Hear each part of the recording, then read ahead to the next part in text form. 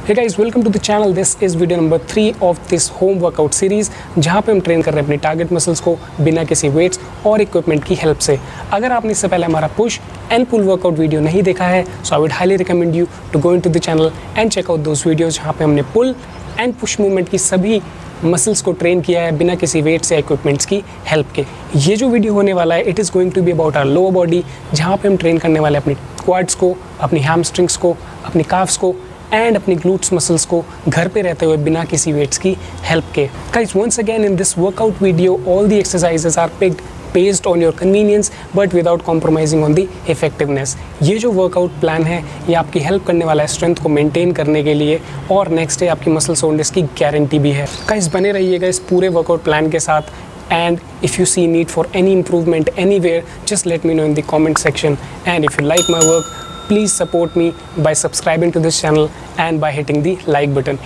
Enjoy the workout video, guys. I'll see you soon. Thank you. So guys warm up में जो हम first exercise यहाँ पे कर रहे हैं, वो है push stand up push stand up का ये जो मूवमेंट है, ये रिजेंबल करता है आपकी बर्पीस को एक्सेप्ट यहाँ पे हम खड़े होने के बाद जंप नहीं कर रहे हैं। आप चाहें तो बर्पीस भी यहाँ पे लगा सकते हैं। हमारा जो ऑब्जेक्टिव है वो यहाँ पे कार्डियोवास्कुलर सिस्टम को चैलेंज करना है और साथ में एक एक्सप्लोजिव स्ट्रेंथ को जनरेट करना है जो कि इस मूवमेंट के थ्रू हम अटेन कर रहे हैं। अगर आप चाहें तो यहाँ पे बर्पीज भी लगा सकते हैं। ये हमारी फ़र्स्ट एक्सरसाइज है वार्म अप रूटीन की। एंड गाइस जो नेक्स्ट एक्सरसाइज हम यहाँ पे करने वाले हैं, वो है जंपिंग लंजेस जंपिंग लंजेस को करने का जो ऑब्जेक्टिव है, वो आपकी लेग्स की क्वाड्स एंड हैमस्ट्रिंग्स मसल को एंगेज करना है and at the same time because यहाँ पर हम जंप कर रहे हैं अगेन आपकी बॉडी वार्म अप हो रही है, आपका कार्डियोवास्कुलर सिस्टम यहाँ पे बहुत अच्छे से एंगेज हो रहा है। गाइस मूव ऑन करते हैं अपनी थर्ड एक्सरसाइज में वार्म अप की जो कि है warrior pose warrior pose yoga में एनर्जी चैनलाइज करने के लिए सजेस्ट किया जाने वाला एक पोज है बट यहाँ पे हम इसका यूज़ कर रहे हैं। अपनी क्वाड्स मसल को ट्रेन करने के लिए और अपनी हैमस्ट्रिंग मसल्स को स्ट्रेच करने के लिए। यहाँ पे जब आप फॉरवर्ड लीन होते हैं तो आपकी फ्रंट लेग का quad muscle and inner muscle train होता है and at the same time आपकी जो अदर लेग है, वो अच्छे से स्ट्रेच होती है, उसकी हैमस्ट्रिंग्स मसल स्ट्रेच होती है। ये पोज वैसे भी दिखने में बहुत फंकी लगता है और आप यकीन मानिए, जब आप इसमें फॉरवर्ड बेंट होंगे, आपको एक बहुत ही अच्छा वार्म अप मिलने वाला है इस पोजीशन को करके। आप ज़रूर इसको इंक्लूड करें अपने लेग वर्कआउट के वार्म अप में। Next exercise again guys going to be forward bent this is the third time we are including this exercise in our warm up routine और इसका ऑब्जेक्टिव सेम है because हमें यहाँ पे अपनी back को स्ट्रेच करना है, अपनी स्पाइन मसल्स को एंगेज करना है। बिकॉज़ ये लेग वर्कआउट है, यहाँ पर हमारी हैमस्ट्रिंग्स भी स्ट्रेच हो रही हैं और रेडी हो रही हैं एक वर्कआउट के लिए। So guys without wasting a second let's jump quickly into the target muscle training और जो टारगेट मसल ट्रेनिंग में हम सबसे पहली एक्सरसाइज कर रहे हैं, वो है क्लासिक स्क्वाड्स हम यहाँ पे ट्रेन कर रहे हैं अपने क्वाड्स मसल को। और क्वाड्स के लिए क्लासिक स्क्वाड से अच्छी कोई और एक्सरसाइज हो ही नहीं सकती। इस एक्सरसाइज को थोड़ा और चैलेंजिंग बनाने के लिए आप बैक पैक का यूज़ कर सकते हैं। यहाँ पे मेरे पास लगभग 12.7 केजी का वेट है। अगर आपको बैक में किसी भी तरह की प्रॉब्लम है तो आप अपने वेट को अपने शोल्डर के ऊपर रखें। अदरवाइज़ अगर आपको बैक के कोई भी इशूज़ नहीं है तो आप नॉर्मल हैंगिंग पोजिशन में बैक पैक को कैरी करके इस एक्सरसाइज को कर सकते हैं।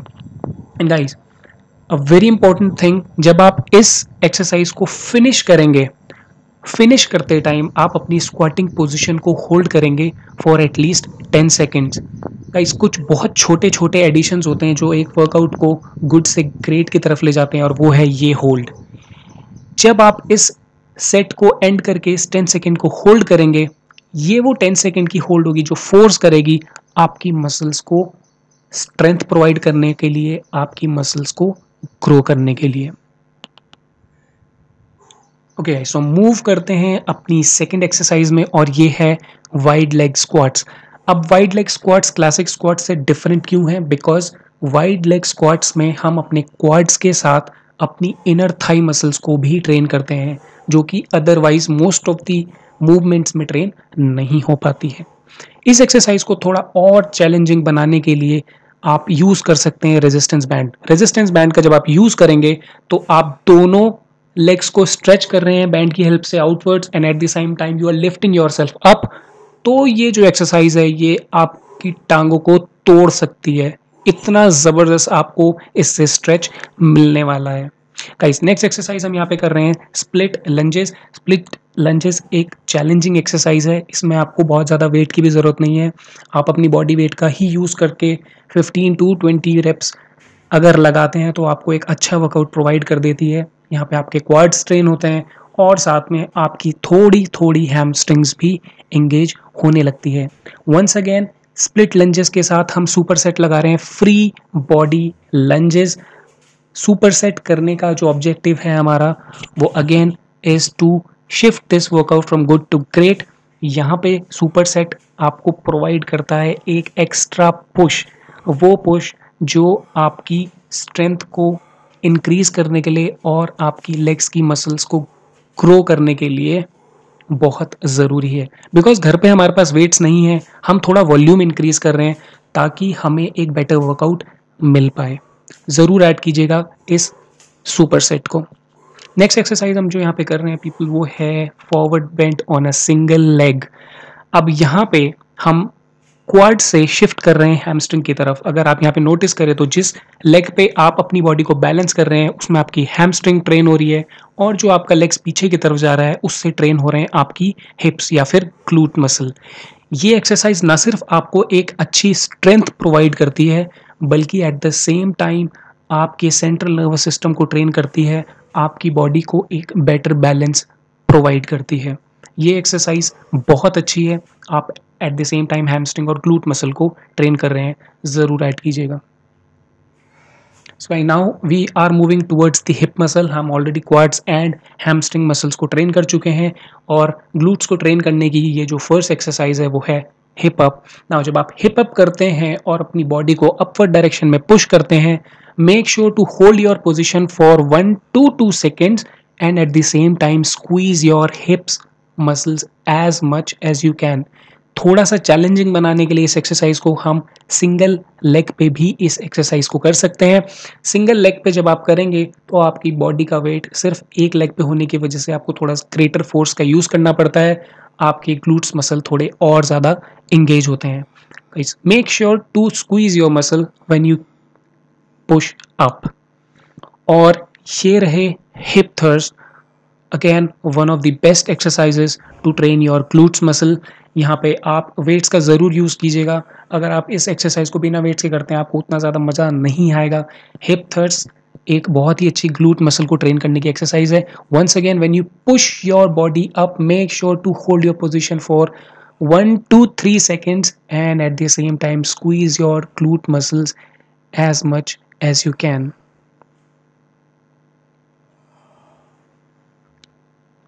so guys next exercise जो हम क्लूट्स के लिए यहाँ पे कर रहे हैं वो ऑप्शनल है। अगर आपके पास रेजिस्टेंस बैंड है तो आप इस एक्सरसाइज को ऐड कर सकते हैं। ये है किक बैक किक बैक में आप रेजिस्टेंस बैंड का यूज़ करते हुए अपने हिसाब से, अपनी स्ट्रेंथ के अकॉर्डिंग रेजिस्टेंस को एडजस्ट करके किक बैक करेंगे अपवर्ड डायरेक्शन में, जिससे आपके ट्रेन होंगी ग्लूट्स मसल ये एक्सरसाइज वैसे भी बहुत अच्छी है आपकी बैक को एक काइंड ऑफ़ कंडीशनिंग प्रोवाइड करने के लिए। अगर आपको नॉर्मली बैक की प्रॉब्लम रहती है, आप थोड़ी देर बैठकर अपनी बैक में सोरनेस फील करने लगते हैं। So this exercise can help with the conditioning of your back and at the same time it trains your glute muscle very very well guys हमने क्वाड्स हैमस्ट्रिंग्स ग्लूट्स ट्रेन कर लिए now it's time to train our calves calves muscle को train करने के लिए हम carbs extension लगा रहे हैं। सबसे पहले काफ एक्सटेंशन के लिए आप अपनी बॉडी को लीन करेंगे किसी भी सरफेस पे चेयर पे और यहाँ पे आप अपनी हील्स को भी सरफेस पे टच करेंगे ताकि आपकी जो काव्स मसल है वो ना सिर्फ़ कॉन्ट्रैक्ट हो, बल्कि फुली एक्सटेंड भी हो। जब एक muscle fully extend and contract होती है तो उसको एक बेटर वर्कआउट मिलता है। उसको एक बेटर ग्रोथ के लिए स्टिमुलस मिलता है। नेक्स्ट एक्सरसाइज जो हम काव्स के लिए कर रहे हैं, वो है using a resistance band this is calves cable extension आप अपने आप को रेस्ट कर सकते हैं किसी भी चेयर या सरफेस पे और अपने रेजिस्टेंस बैंड को अपने थम पे रेस्ट करके अपनी काफ्स मसल को एक्सटेंड करेंगे। Guys be careful while doing this exercise आप अपनी रेजिस्टेंस बैंड को अच्छे से अपने थम पे फिट कर लीजिए अदरवाइज़ अगर ये छूटेगा ना तो सीधा मुँह पे आगे लग सकता है। So be careful about that if you are doing this for the first time be careful so so guys ये था हमारा कंप्लीट लोअर बॉडी वर्कआउट जिसमें सेलेक्टिवली पिक्ड एक्सरसाइजेस की हेल्प से हमने इफेक्टिवली अपने हर एक टारगेट मसल को ट्रेन किया है without using any weight I hope you would have find this video helpful if you like my work please support by subscribing to this channel and by hitting the like button guys my name is pankaj and i thank you so much for watching this video. Goodbye. Take care